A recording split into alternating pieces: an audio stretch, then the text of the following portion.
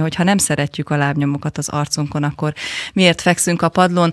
Mert hogy azt hiszem többes szám első szemében fogalmazhatok, nagyon sokan így érzik, nagyon sokan így élik le az életüket ma hazánkban.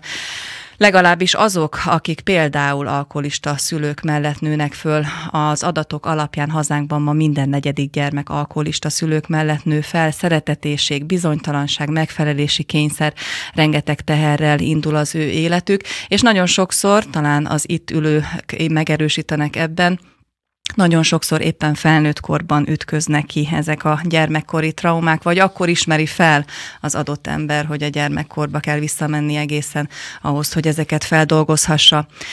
Pataki Bea, addiktológus, természetgyógyász, önismereti szakember a stúdió vendége, és velünk van Piszpáren Kati is, aki az Életgyermeket című könyv fordítója, nyelvész, bölcsész. Jó napot kívánok, szervusztok, szeretettel köszöntelek titeket. Szeretettel köszöntök mindenkit. Mert hogy a műsorban az Élet gyermeket című könyv kapcsán beszélgetünk erről a témáról. A diszfunkcionális családok gyermekeiről szól ez a könyv. Egy ö, finn ö, pszichológus, pszichiáter írta, ha jól tudom, és Kati fordította. Mielőtt a könyvet bemutatnánk, illetve beszélnénk a témáról, talán érdemes tisztázni, ugye itt alkoholista szülőket említettem, de a diszfunkcionális család kategóriájába ettől sokkal több is beleférhet, ugye Bea? Igen, ez egy nagyon szakmai fogalom, nem is biztos, hogy ismerős a laikusok számára. Egyszerűen nem működő, vagy szeretetlen családnak tudnám mondani a diszfunkcionális családot. Maga a diszfunkcionális, ugye pszichiátriai értelmen ezt jelenti, hogy a, a szószoros értelme értelmében, ahogy egy családnak működni kell, egy diszfunkcionális család nem működik. Valamilyen nehézség, akadály van az ő működésükben, és a gyerekekre nézve, ugye mert erről fogunk beszélgetni, hogy egy ilyen családban, ha fölnő valaki, akkor milyen hatással van a személyiségére, az életére, ugye borzasztó nagy terhet jelent. Ezért egyszerűsítettem így, hogy szeretetlen családról van szó, ahol egy gyermek nem kapja meg azt a tükrözést, azt a figyelmet, azt a támogatást, amit egy családnak, egy gondviselőtől meg kéne, hogy, vagy egy gyereknek egy családban meg kéne, hogy kapjon. Az, hogy nem működik, azt bárki észreveszi? Az anya, az apa, a gyerek érzékeli? Tudatosul benne, hogy uh. nem működőben nőtt ő föl, vagy nő föl? Nagyon-nagyon jó ez a kérdés, és pont ezt is akartam mondani, hogy egyrészt egy gyermek azt definiálja szeretetként, amit kap, uh. még akkor is, ha nem az. Egy gyermeknek nagyon nagy szüksége van arra, hogy oda tartozhasson a családjához, még akkor is, ha ez nem egy odatartozás és kötődés, hanem illeszkedés, tehát kénytelen önmagát megcsonkítani. Nyilván ez egy nem tudatos dolog, érzelmi érzelmileg értem ezt, hogy oda, oda illeszkedjen valahogy a családhoz. Én mindig azt a példát szoktam mondani, mint a, az egyik mesében, hogy le kell vágni egy-két ujjunkat, hogy beleférjen az üvegcipőbe, és a személyiséggel ez történik egy kisgyereknél, egy ilyen családban, és nem is annyira csak az alkoholizmusról beszélnék, hanem, mert ugye a könyv innen indul, vagy a könyvek innen indulnak, de minden olyan család, ahol mentálisan sérült, személyiségzavaros, érzelmileg elérhetetlen, túlontúl kritizáló, tehát minden olyan család, ahol nincs szeretet a klasszikus értelemben, ezt mentálisan sérülékeny családnak hívjuk, és diszfunkcionális családnak hívjuk, és egy kisgyerek ezt nem tudja. Ha már tudja és észreveszi, akkor nagyon nagy baj van. Tehát mondjuk úgy, hogy a gyermeknek az ártatlansága, a, tudatosság hiánya megvédi őt attól, hogy, hogy rájöjjön, hogy milyen környezetben van, és ha rájön, az nagyon nagy baj, az neki óriási nagy szenvedés, egy gyerek nem tudna túlélni, nem tudna fölnőni, ha tudatában mm. lenne annak, hogy mi veszi őt körül, és ahogy már mondtam, szeretetnek definiálja azt is, ami nem az, és a gyereknek akárkik a szülei, arra van szüksége, hogy a gyerek szerethesse a szüleit, még akkor is, ha ez nem kölcsönös, de senki nem látja be. A szülők meg főleg, szerintem a legtöbbször. Piszpánen Katihoz fordulok, aki az Élet gyermeke című könyv fordítója, ugye egy finn szakember írta ezt a könyvet, és hát nem véletlen az egyezés, meg a Kati nevének hangzása között, mert hogy ez is egy finn név, a férjezet neve, tehát a Finnországban éltél sokáig, ez a könyv akkor került a kezedbe, vagy nem is éltél Finnországban? Nem. Itt Magyarországon találtad? Tényleg? Igen, szeretettel üdvözlök én is mindenkit. A, én Magyarországon élek, eredetileg Szegedi vagyok, most új lengyelben egy nagyon kedves kis faluban élek Budapesttől, nem is olyan messze, Itt van egy kis szálláshelyünk, és gyakorlatilag én takarítás közben találtam meg az Élet gyermeke című könyvet. És hát finn nyelven. Finn nyelven, uh-huh. igen, és hát rögtön belenéztem, ugye nem is belenéztem, mert hogy a hátulját is néztem meg, és ott találtam meg ezt a mondatot, hogy ha nem szereted a lábnyomokat az arcodon, akkor miért fekszel a földön, és ez teljesen ledöbbentett, hogy ez egy akkora és olyan egyszerű igazság, és az én életem helyzetemre ez nagyon is aktuális volt ez a, ez a, a mondat, és hát elkezdtem keresni az, hogy ki a tulajdonos ennek a könyvnek, és egy vendégünket sem, akit elértem, nem jelentkezett, tehát mintha az angyalok pottyantották volna le ezt a könyvet, hogy tessék, itt a feladatod. És hát én így is fogtam föl ezt, rögtön elolvastam, ezt a rögtönt azért nem úgy kell érteni, hogy, mert egy ilyen könyvet azért nem úgy olvas az ember, hogy, hogy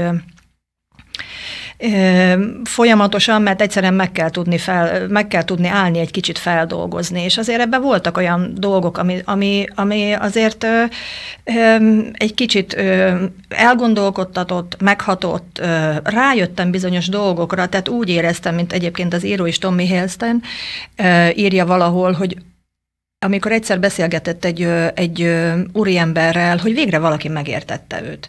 Végre, végre rájött, hogy mi az, ami, mert hogy, hogy csatlakozzak, amit az előbb mondott, a gyerekeknél is ez egy állapottá válik, hogyha egy ilyen családban nő fel. Nem tudja megfogalmazni, mert nincsenek rá szavai. Tehát egy abuzált gyerek, akit ugye zaklat szexuálisan, vagy fizikailag zaklatnak, nem tudja összehívni a családi kupak tanácsot, hogy na, velem ez történik, oldjuk meg, hanem őnek egyszerűen van egy érzése, egy állapot, és nem tudja pontosan, hogy az micsoda, mert nincsenek rá szavai. Csak valami nem jó valami, ami, ami őt, őt megcsonkítja valamilyen szinten. Ő, ő ebben az esetben ugye nem csak fizikailag, hanem nagyon komolyan lelkileg is. És uh, itt ebben a könyvben úgy ráéreztem arra, hogy, hogy, hogy valaki megért engem, hogy akkor tudom, hogy bennem miért vannak ezek az állapotok, ezek az érzések. Ezek tulajdonképpen családtörténetek? Tehát felnőtté vált emberek írnak a gyerekkorukról? Nem. Vagy a pszichiáter szedi össze a tapasztalatait, az e, eseményeket, hogy mi minden vezethet esetleg ahhoz, hogy különböző felismerésekre találjunk. Ez utóbbi uh-huh. inkább.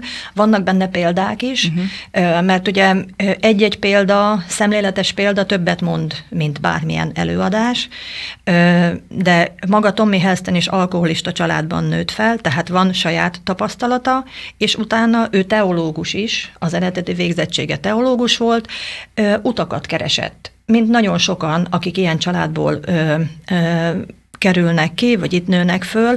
Ugye én is eredetileg bölcsész voltam, aztán, aztán így a, a mindenféle egyéb e, egyéb irányba fordultam, hogy találjam meg azt, hogy, hogy miért vagyok ilyen, hogyan tudok bizonyos dolgoktól megszabadulni. Egyáltalán mik azok a dolgok, amiktől meg akarok szabadulni, mert amíg nem tudatos az ember, addig ezekben a dolgokban addig nem, nincs mitől megszabadulni, mert nem tudja, hogy mi az. Először rá kell jönni, hogy mi az. És ezek a problémák, ezek a jelenségek talán mindkettőtöktől kérdezem nemzetköziek? Tehát egy finn szakember könyvéből mi is tanulhatunk? Mindenképp. Uh-huh. Mindenképp. Ez szerintem teljesen általános, sőt nem csak erre a korra vonatkozik, erre a korra talán azért, ami még a könyvben nincs is benne, hogy bejöttek az új függőségek. Mert hogy ez egy régebbi könyv egyébként? Ö, igen, az első, a Viziló a nappaliban, ami az első volt, ez 91-ben, egyébként a debutáló könyve az írónak. Azóta tehát akkor te a folytatást találtad meg a, a folytatást találtam Aha. meg először, de nagyon élvezhető idézőjelben, ugye egy ilyen könyv azért nem olyan élvezhető irodalom, ezt, ezt érteni kell, de érthető volt, akkor inkább így mondom.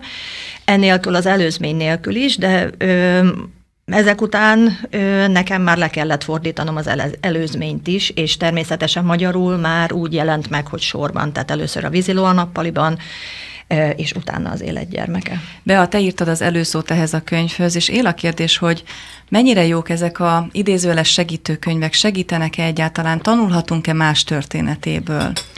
Általánosságban nem is akarok válaszolni, hanem talán konkrétan a könyvekkel kapcsolatban válaszolok, hogy ezek a könyvek ö, például az én életemet is megvál, megváltoztatták, mind szakmailag, mind emberileg, mert egy olyan közérthető módon, de mégis mérehatóan foglalnak össze egy mindenkit, az egész világon mindenkit érintő problémát, ugye nem feltétlenül térnék ugye magára, hogy a fi, az író finn, vagy hogy a finnekre mhm. vonatkozik, hanem pont univerzális, ilyen minden emberre egyezményesen érvényes dolgokat foglal össze ez a könyv. És talán egy picit ugye visszatérve a témához, a, ahhoz, hogy egy ember egészségesen éljen felnőtt korában, ahhoz azt kell, hogy a gyerekkorában megkapja talán a kertész és a növény példáját tudom mondani, hogy egy növény is akkor virágzik és bont virágot, szírmot, gyümölcsöt, hoz gyümölcsöt, hogyha megfelelő táptalaja van biztosítva számára, vagy fény, vagy víz. És valahogy a szülőknek ez a feladata, ők a jó kertészek, vagy ők lennének ideális esetben a jó kertészek, a gyerek a kis növényke. Egy szülőnek az lenne a feladata, hogy felderítse, hogy az ő, nem mindegy ugye, hogy a kertész számára, hogy az ott egy kaktusz, vagy egy rózsabokor, és annak megfelelően kell gondozni, és amikor valaki mentálisan sérülékeny családban nő föl, egyszerűen nem kap táptalajt, nem kap vizet, nem kap megfelelő gondoskodást, nincs üvegbúra mondjuk, ha ugye érted a példát. Persze. És ilyenkor van az, hogy egy, ha egészségesen fejlődik egy gyermek, akkor neki a figyelme önmagára irányul. Tehát meg tud maradni abban a boldog tudatban, nem is gondolkozik ezen, nem is tud egy gyerek ezen gondolkozni, hogy ő él és magára figyel, éli az életét. De ha olyan környezetben van, mint amiről a könyv szól, alkoholista család, kritizáló szülők, érzelmileg elérhetetlen szülők, stb., akkor egy gyermek egy túlélő üzemmódba kerül, a figyelme kifeszül, a környezetre, állandóan ö, monitoroznia kell, mert veszélyben érzi magát, de ezt ő nem tudja. Monitoroznia kell a környezetet, és elveszti egyúttal a kapcsolatot a saját belső világával, és ez végérvényesen egy olyan pályára állítja azt az embert, és később a felnőttet is, ahol neki gondjai lesznek, anyagi, párkapcsolati, érzelmi, stb. De mivel egy gyerek ezt nem tudja, fölnőtt korban meg már annyi időt telik el, hogy nem hoz összefüggést ez a felnőtt azzal, hogy azért történnek vele dolgok, mert gyerekkorában mi történt, mert azt mondja, hogy ah, hát hol van az már, meg kit érdekel, hát mit tudom én, engem is megütött az apám, mégis ember lett belőlem, tehát általánosan így elsimítják ezeket a dolgokat. Már is válaszoltál arra a kérdésre, hogy tovább viszi-e a példát, a mintát a gyermek hogy szülőként. Igen. Igen. És talán, bocsánat, egy mondat, hogy, hogy nem csak az a gond, hogy itt vannak ezek a szőnyeg alá söpört traumák, hanem maga a személyiségünk az gyerekkorban alakul ki. És a személyiségünk az, ami valamilyenné válik, és fölnőtt korba ezzel a személyiséggel kell evickélnünk az életben, ami egy ilyen közegben alakult ki, és ezt nem tudják az emberek, hogy reflektálni kell arra, hogy milyen közegben alakult ki a személyiségünk. Ezért kell visszatérni újra és újra gyerekkorhoz, vagy esetleg a traumákhoz, nem azért, mert a pszichológusoknak vagy a segítőknek nincs jobb dolguk, hanem hogy ott fejlődtünk ki. És ugye azok a dolgok, amik nem jól működnek, akkor vissza kell térnünk a, a keletkezés idejéhez. Kati, te mikor és kinek vagy minek a segítségével ismerted fel, hogy diszfunkcionális családban nőttél föl? Hát én már elég korán, én már 13 évesen el akartam költözni uh-huh. otthonról, tehát ö, sőt el is költöztem, ö, apukám még pont akkor költöztek vissza Szegedre, és ö, ö, szerencsére befogadtak, mert különben biztos, hogy állami gondozásba is mentem volna. Annyira rossz volt a helyzet. De várj, akkor apukád volt a jobb helyzet anyukáddal igen, ellentétben, igen, mert hogy nem értjük a történetet, tehát anyukától igen, jöttél igen. el, és apukádhoz igen. mentél. Uh-huh. Úgyhogy én már akkor csak ezt igazából így nem tudtam megfogalmazni, úgyhogy igazából azt lehet mondani, hogy a gimnáziumban csak inkább ilyen áldozatszerep voltam, és a, az egyetemen kezdtem el magammal foglalkozni jobban. Ráértem, én soha nem voltam bulizós típus, inkább olvastam, ilyesmi, és akkor kezdtem el inkább keresni lehetőségeket, megoldásokat magamnak, illetve a 90-es évek azért elég komoly táptalaja volt a különböző alternatív gyógymódoknak, ezeknek nem feltétlenül most a természetgyógyászatra gondolok, hanem inkább a lelki egyéb bejöttek olyan módszerek, amit, amikről azelőtt nem hallottunk. És hát ugye elkezdtem ezekkel foglalkozni, és hát ugye egyre mélyebbre, mélyebbre kutattam, vagy kerestem. Túl vagy rajta?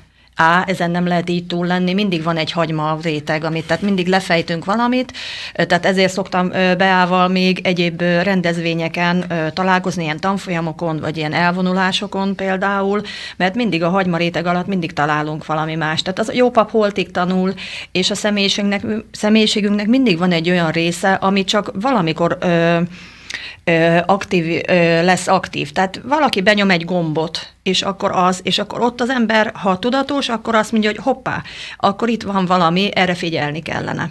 Bea, nagyon nehéz kérdés, milyen jelei lehetnek, vagy vannak annak, hogy én, vagy adott esetben az, aki ezen gondolkozik, diszfunkcionális családban nőtt fel, lehet-e egyértelmű jeleket meghatározni? Nagyon is, és nagyon, nagyon köszönöm ezt a kérdést, mert pont Hellstein könyve nyomán kezdtem én is szakosodni erre, a kifejezetten a mentálisan sérülékeny családban fölnőtt embereknek a személyiségi jegyei, vagy milyen tünetei vannak ennek, föl lehet-e ismerni, és igenis vannak. Egyrészt az önbecsüléssel ö, kapcsolatos ö, dolgok, hát az önbecsülés hiánya, ami maximálisan megjelenik, egy vagy egy megfelelési kényszer, vagy egy állandó, hogy is mondjam, egy ilyen űzöttségnek mondanám, amikor valaki nagyon igyekszik, sokkal többet akar beletenni a kapcsolataiba, a munkájába, úgy érzi, sokkal többet kell letenni az asztalra, és ez soha nem viszonos, tehát nem jön vissza elismerés vagy anyagi dolog cserébe.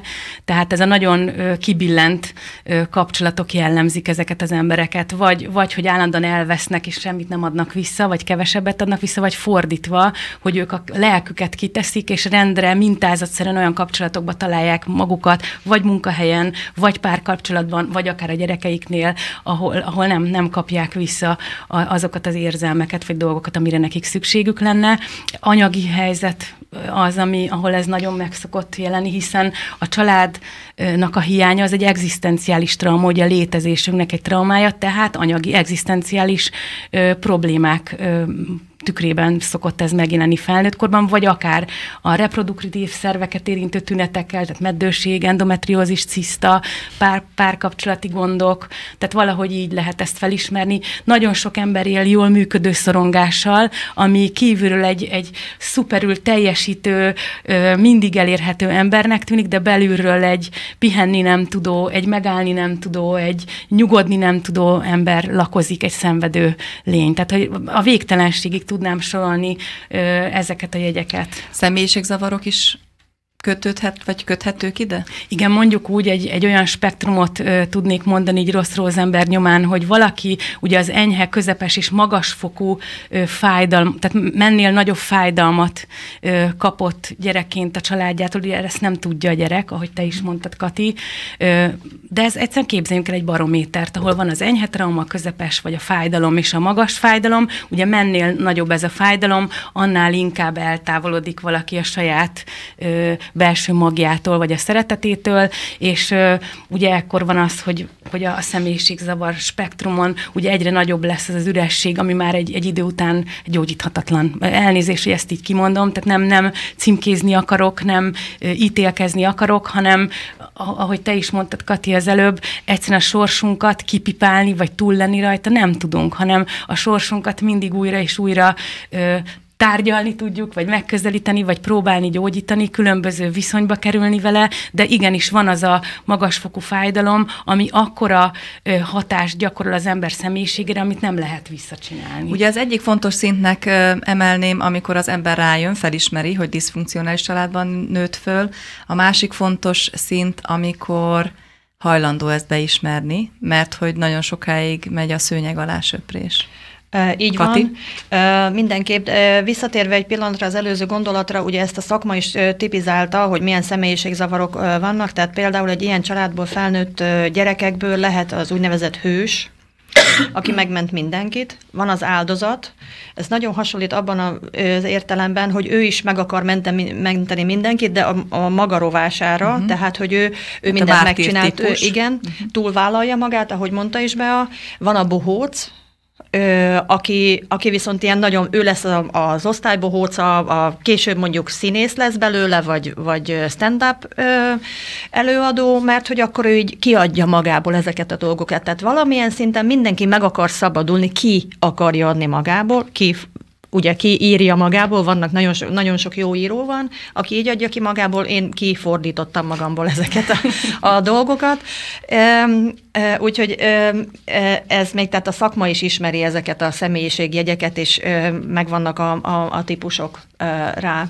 Pont Beánál olvastam egy mondatot, hogy valami ilyesmit fogalmaztál meg, hogy félre ne értsünk, nem azt jelenti, hogy kalapács van nálad, és mindent szögnek látsz, de hogy hallgattalak téged, pont ez a gondolat jutott eszembe, mert hogyha végnézzünk a társadalomon, akkor tele vagyunk bohócokkal, tele vagyunk olyan emberekkel, akiket pont említettél. Tele vagyunk hősökkel, tele vagyunk mártírokkal, akkor tele vagyunk diszfunkcionális családdal? Be a... Szerintem igen, én azt szeretném, az volt a szomorú felismerésem, és újra mondom, hogy nem a kalapács a kezemben, uh-huh. hogy szinte ma már a diszfunkcionális a normál normális. Tehát, hogy ez az általános, ez, ez a megszokottabb, ezért nem is tűnik föl, nem, nem, nem, hogy vonja föl a szemöldökét az ember, mert ott is egy diszfunkcionál, itt is, ott is, már úgy megselepődik az ember. De azzal együtt, hogy egyre többet foglalkozunk magunkkal, egyre több a pszichológus, a coach, a önismereti szakember. Igen, és megmondom, hogy miért. Ugye az, amit te is mondtál a hősről, a bohócról, ezt úgy kell elképzelni, hogy, hogy az embert óriási fájdalom éri, és ugye, amit mutattam az előbb a barométerről, tehát mennél nagyobb ez a fájdalom, annál inkább úgy védi magát a személyiség, hogy lezárja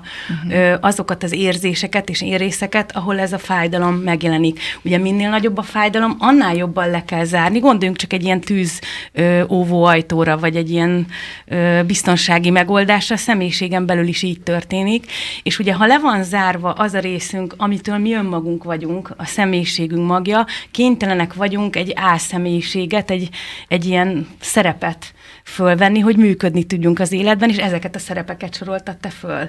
Ami egyrészt lehet, tehát nagyon ö, nagy kreativitásra ad lehetőséget, mert ugye ez egy túlélési dolog. Ö, mit hoz ki az ember? Ugye talán ö, Feldmár is, meg Máté Gábor is beszél arról, hogy a trauma egyrészt egy óriási kreatív forrás is lehet, ha az ember meg tudja haladni, vagy nem pusztul bele, vagy nem semmisül meg, de egyúttal ugye azzal van a gond, ha ez nem kerül tudatosításra, ha úgy él az ember egy szerepszemélyiségben, hogy közben nem tud róla.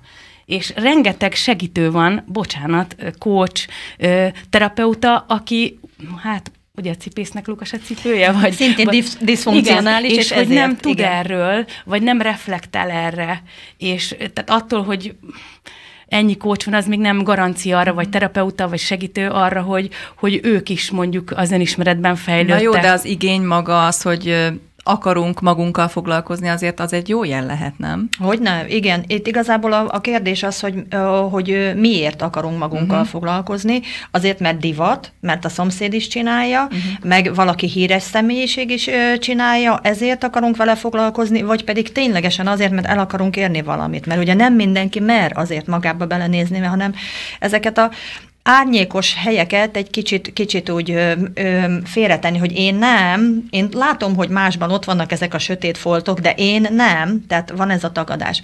Egyébként itt, hogy mennyire áldás lehet, ez ugye a, a, a könyvnek a másik mottoja, vagy a könyveknek a másik mottoja, a fény a sötétségben születik. Tehát ez a fajta, megvan ez a lehetőség, hogy ez áldásként szerepelhet, akkor ö, ö, ez a kezdet, hogyha, hogyha az ember ezt felismeri, és jóra használja ezeket a dolgokat.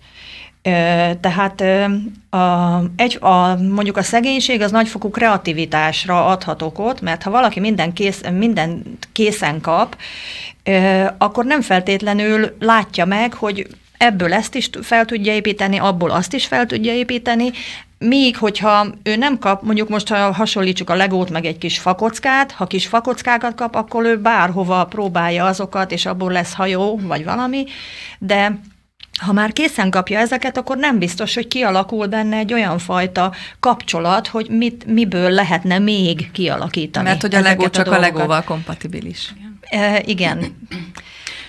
És akkor folytassuk a beszélgetést, be valami hozzáfűzni valód van? Uh, igen, igen. Ugye azt szerettem volna mondani, hogy visszatérve ugye a traumákhoz, hogy úgy tudjuk megóvni magunkat ugye a, a szenvedéstől, ugye ezeket hívják elhárító mechanizmusoknak, hogy távol tartjuk magunkat ugye a, a fájdalmaktól, a felismerésektől, a traumáktól. És az elhárító mechanizmusok között például van az acting out, a kiélés, illetve az intellektualizáció, amikor ö, hát mentális síkon okos gondolkodunk, beszélgetünk, elemezgetünk. Na most ez a két dolog lehet abszolút diszfunkcionális motivációja segítő szakmának, hogy valaki nem gyógyulni akar, vagy nem maga mondjuk meggyógyul, vagy ahogy te is beszéltél, Kati, hogy a saját érintettséget kapcsán akartál mondjuk fordítani, vagy én is saját élményű segítő vagyok, tehát nem véletlenül választottam ezt a szakmát, amit, hanem valaki ezt így kikerüli, kihagyja, és gyakorlatilag a segítő szakmát akár, vagy a, az okoskodást, akár a könyvírást, vagy az elemezgetést elhárító mechanizmusként használja. Aha. Tehát, hogy velem nincs semmi baj, járok Igen, kócshoz ezzel. Igen. Felmenti saját magát, meg azt, hogy igazán a mélyíráson ezeknek a dolgoknak. És ha már itt tartunk, akkor beszéljünk egy kicsit az önismeretről, meg a személyiségről, mert Mondtál egy nagyon súlyos dolgot, amit szerintem sokan nem tudtunk, nem tudunk.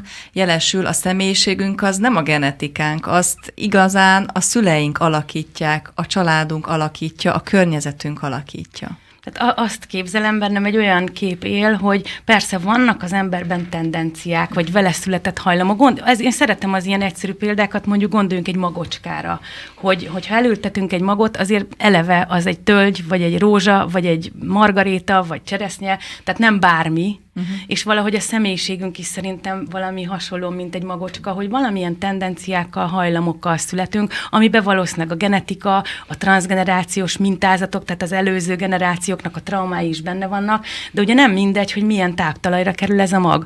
Ugye, hogy sziklára kerül, vagy homokba, vagy, vagy jó táptalajhoz kerül, és utána az sem mindegy, hogy szárba tud-e szökkenni. Tehát a, a környezet mondjuk úgy, hogy felerősít tendenciákat, vagy, vagy kiolt tendenciákat, tendenciákat, nem mindegy, hogy, hogy igen, hogy ki, ki gondozza azt a magocskát. Mennyire és, támogató. És hogyha hozzányúlunk a személyiségünkhöz azzal, hogy elkezdjük ezeket a traumákat feldolgozni, vagy foglalkozni velük, mert hogy ugye említettétek mind a ketten, hogy igazán feldolgozni nem lehet ezeket, akkor változhat a személyiségünk?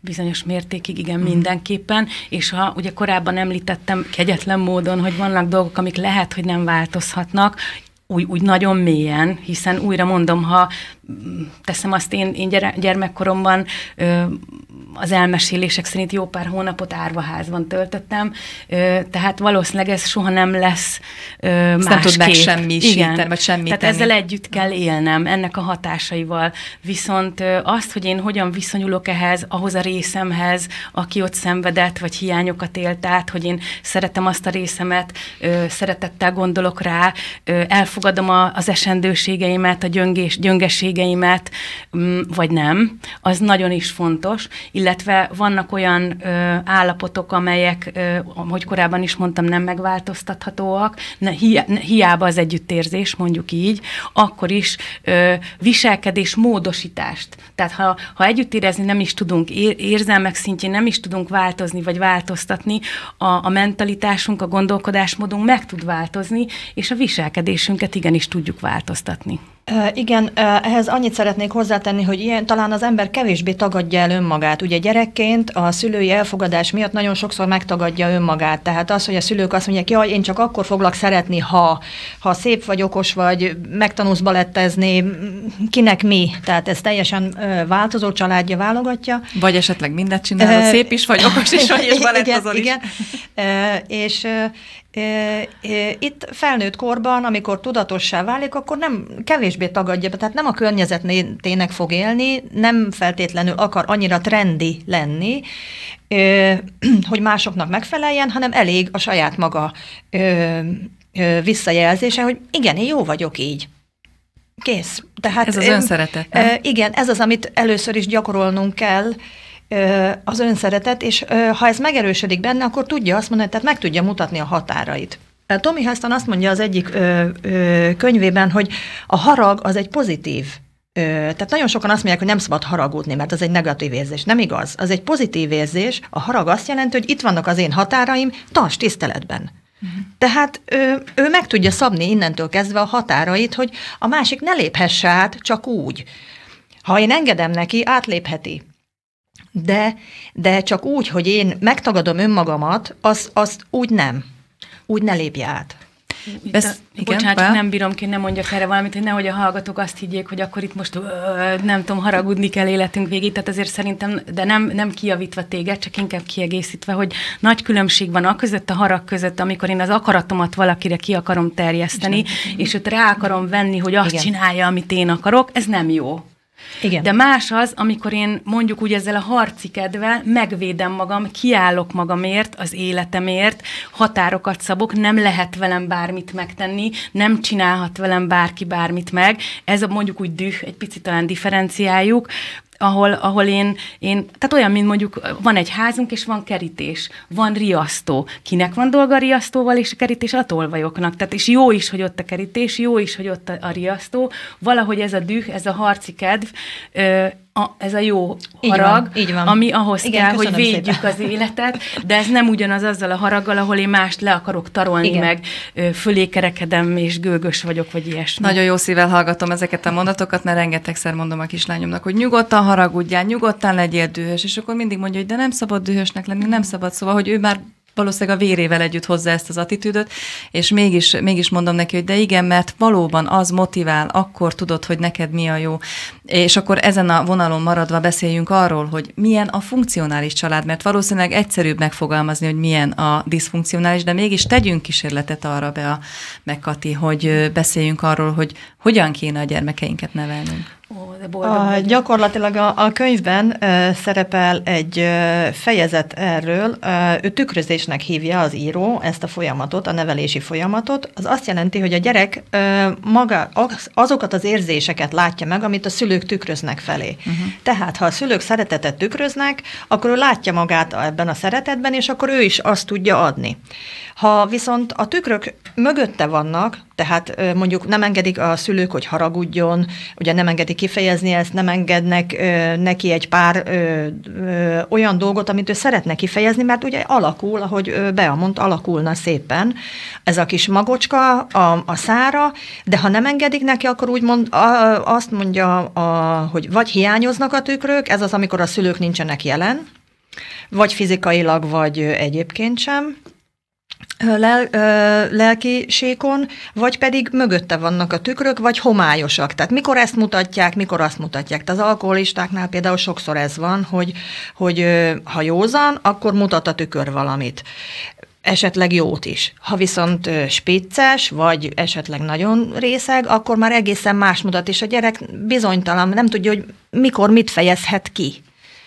Nagyon-nagyon boldog vagyok a kérdésért, mert nagyon sokat foglalkozom ezzel, hogy mi a különbség a mérgező és a szeretett kapcsolatok között. Egy szeretett kapcsolat is, tudom, hogy más, hogy két felnőttről beszélünk, vagy egy szülő-gyerek kapcsolatról, de vannak akkor is mind a kettőre jellemző átfedések, ö, átfedések hogy egyrészt ö, egy figyelmet jelent a, a szeretett kapcsolat, a funkcionális család, hogy, hogy figyelünk egymásra, fontos a másik, ö, nem azért teszek meg dolgokat a másikért, ő, már megint meg kell tenni, hanem örömmel teszem, kíváncsisággal teszem, mert szeretem a másikat, és fontos nekem. Ami neki jó, az nekem is jó, vagy ha az a dolog, ami neki fontos, ez nekem is fontos. Tehát valahogy ez a, ez a kíváncsi, bátorító, szerető, gondoskodni vágyó attitűd a szeretet kapcsolat, és a, a konfliktusok megléte. Tehát minden egyes kapcsolat azt jelenti, hogy különbözőek vagyunk jószerivel, különbözőek az igényeink, különbözőek a tendenciáink, és nem átallunk ezt megmutatni, egyeztetni, súrlódni akár, és ez a súrlódás nem egy dráma lesz, vagy a jó a úristen, hanem egy igény arra, hogy megismerjük egymást, és egyeztessük ezeket az igényeket. Tehát egy szeretett kapcsolatban a konfliktus elengedhetetlen, de a konfliktust megoldás követi, megismerés követi, egy igény arra, hogy á, értem, akkor te ezt szeretnéd, akkor mostantól változtassunk, változzunk. E, ezt én így tudnám a legegyszerűbben megfogalmazni. Egyfajta elfogadás. Egy családban mindenki ö, saját személyiség, ö, önálló személyiség, még akkor is, ha csak három éves ez a személyiség, akkor is megvan az. Tehát ha ö, roppant egyszerű az unokaöcsémre, nem lehetett rákényszeríteni bizonyos ruhákat, ö, hiába akartuk, nem lehetett. Most csak ez egy egyszerű és banális példa. Meg kellett hagyni neki, hogy na, választ ki, te Uh-huh. Tehát ez egy egyszerű, ha, és ha ebben a szülő nem tud engedni, mert ő ezt szeretné, a gyereknek meg már három évesen megvan a maga kicsi kis akarata, hogy ő, ő más szeretne, akkor miért nem tudjuk azt elfogadni addig, amíg az nem, be, nem bánt másokat, meg önmagát sem, addig fogadjuk el, hogy ő másképp lát bizonyos dolgokat. És ez az elfogadás, hogyha én nem is értek egyet azzal, amit a család másik tagja szeretne, de elfogadom, hogy ő azt úgy szeretné csinálni, akkor szerintem nagyon sokat tettünk azért, hogy a diszfunkcionális család funkcionális családdá tudjon válni. Ebben a fél órában az Életgyermeke című könyv kapcsán beszélgettünk a diszfunkcionális családokról, és ha már a Lekomban szerepel a könyv, akkor a címére egy kérdés erejéig térjünk ki. Az élet gyermekét tulajdonképpen az élet neveli, nem a szülők, szóval mire kell asszociálnunk, mire kell gondolnunk a cím hallatán? A belső gyermekünket kell megtalálnunk. Uh-huh. A belső gyermekünk, pontosabban a belső gyermekünk ott van, nem kell megtalálni, ilyen szempontból bennünk van, de a kapcsolatunkat vissza kell hozni vele, mert általában a diszfunkcionális családokban elveszítjük ezt a kapcsolatot.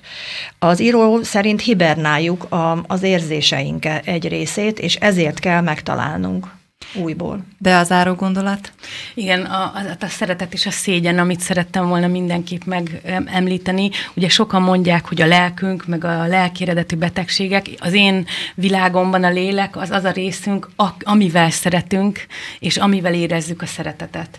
És talán a, a lelki kapcsolat, a lelkünkkel való kapcsolat megtalálása a legfontosabb az életben, ha már elveszítettük egy mentálisan sérülékeny családban ezt a kapcsolatot, mert muszáj volt elveszítenünk, és talán még egy picit visszaválaszolva az előző kérdésedre, hogy attól szeretett kapcsolat egy szeretett kapcsolat, vagy mérgező egy család, hogy megszégyeníti a, a tagjait, lekezeli, leértékeli, nem fogadja el, és a, a szégy, tehát amikor hallunk egy olyan mondatot, hogy valakinek a létezése, a személye, a véleménye elfogadhatatlan, az, az egyelő a megszégyenítéssel, a kirekesztéssel, és az mindenféleképpen mérgező. Köszönöm szépen, hogy itt voltatok az elmúlt percekben Pataki Be, a diktológus természetgyógyásszal, önismereti szakemberrel és Piszpánen Katival, az Életgyermeke című könyvfordítójával beszélgettünk. További jó munkát kívánok! Köszönjük, Köszönjük szépen!